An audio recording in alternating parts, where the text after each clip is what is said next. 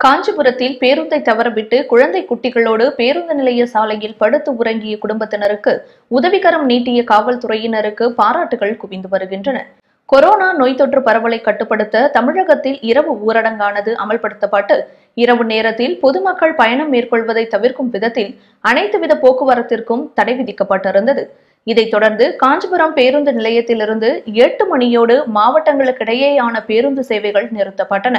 இந்நிலையில் செங்கல்பட்டிலிருந்து செய்யாறில் உள்ள தனது உறவினர் வீட்டு துக்க நிகழ்ச்சி ஒன்றில் கலந்து கொண்ட ஒரு குடும்பத்தினர் மீண்டும் செங்கல்பட்டு செல்வதற்கு காஞ்சிபுரம் பேருந்து நிலையம் வந்தபோது எவ்வித பேருந்து வசதியும் இன்றி செய்வதறியாமல் பேருந்து நிலையத்தின் நுழைவாயிலேயே குழந்தை குட்டிகளோடு சாலையில் படுத்து உறங்கினர். மேலும் இரவு பத்து மணி முதல் ஊரடங்கு அமல்படுத்தப்பட்டதால் அனைத்து கடைகளும் அடைக்கப்பட்டிருந்தன.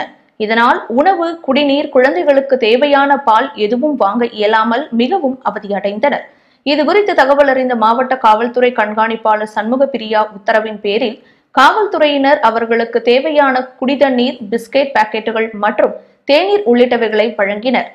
பணமிருந்தும் உண்ண உணவிற்கு வழியின்றி பசியினால் தவித்து வந்தவர்களுக்கு நள்ளிரவென்றும் பாராமல் உதவிய காவல்துறையினரின் சேவையை பலரும் பாராட்டி வருகின்றனர்.